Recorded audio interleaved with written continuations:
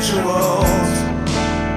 appear yet, yet here he is. He existed, of course, as the same as other unnamed characters. But some friends just had to know right now.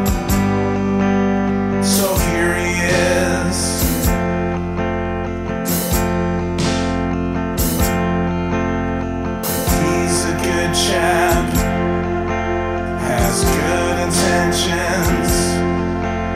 But like an infamous tarot card Suggests he started off